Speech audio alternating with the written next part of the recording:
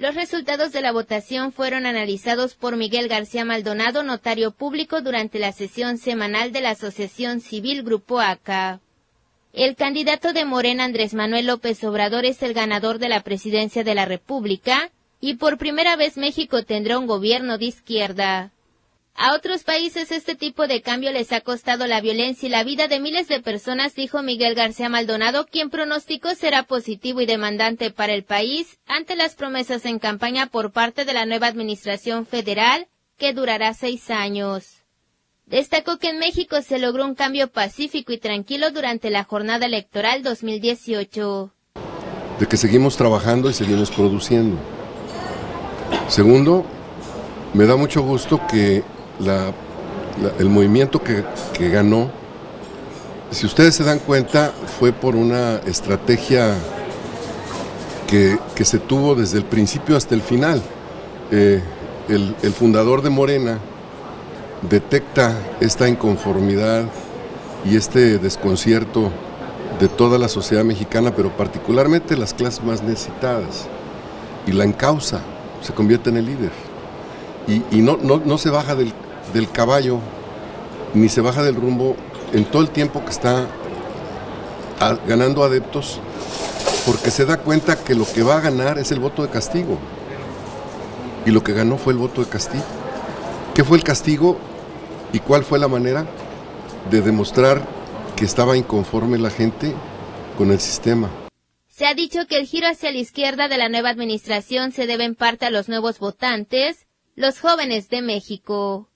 En entrevista, Miguel García Maldonado manifestó que el cambio es favorable para México y dijo que espera se mantenga pacífico. Por ejemplo, hay, áreas eh, del sureste donde es eh, López Obrador que tiene el 77% de votación.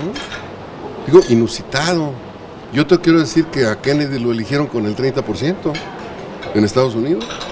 Entonces hablar del 77% es del otro mundo, es otro mundo.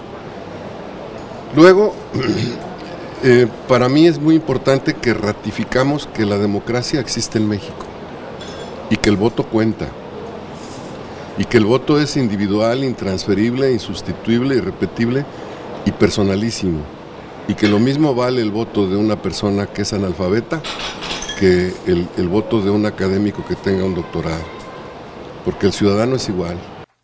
A pesar de una jornada electoral 2018 marcada por la violencia a nivel nacional, García Maldonado manifestó que no hay en el mundo un antecedente de cambio tan pacífico como el que ocurrió en México. Esa misma tendencia es a nivel local.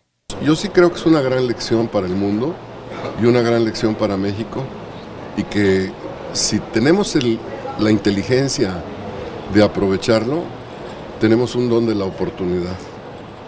El caos en chino, en cantonés, es oportunidad. Se traduce en oportunidad. Y, eso que tenemos nosotros en este momento puede ser una gran oportunidad, inclusive para Guerrero. Si ustedes se dan cuenta, una de las grandes eh, decisiones a tomar es que la Secretaría de Salud va a estar en Chilpancingo. Imagínense eso qué va a ser para las universidades, la Universidad de Guerrero, para la Facultad de Medicina, para la Facultad de Ciencias Químicas, para, para todas las carreras conexas a la salud. Noticieros Televisa, Olivia Arredondo.